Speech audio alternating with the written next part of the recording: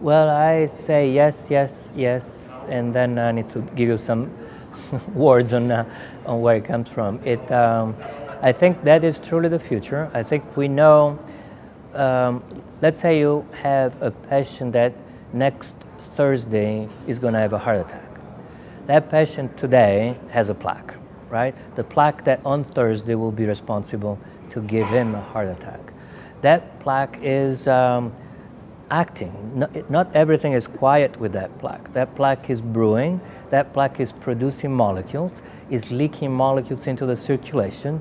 So if we took a blood sample and we knew what signals are coming from a plaque that's about to act out, we would um, increase our predictivity and talk about something that comes in 10 days, 20 days, or 30 days, rather than when I, you're right. When I tell a patient you are now at a high risk of having a heart attack in the next 10 years, they look at you and like, what does that even mean? I don't know, 10 years, I, I will drown before maybe, or I have a, a car accident. It doesn't scare anybody. So we just need to identify, I think it's gonna be a combination of biomarkers, so non-genetic molecules that are in the circulation that you can get with the blood samples that are probably coming from the plaque. The plaque produces material.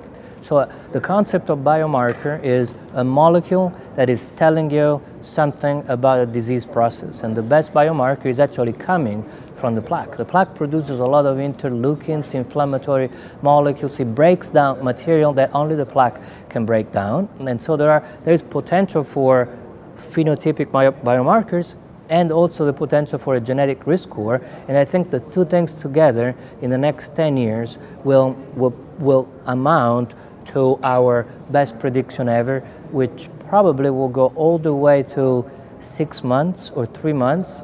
And uh, I'm hoping that within my lifetime I see predictions at 30 days.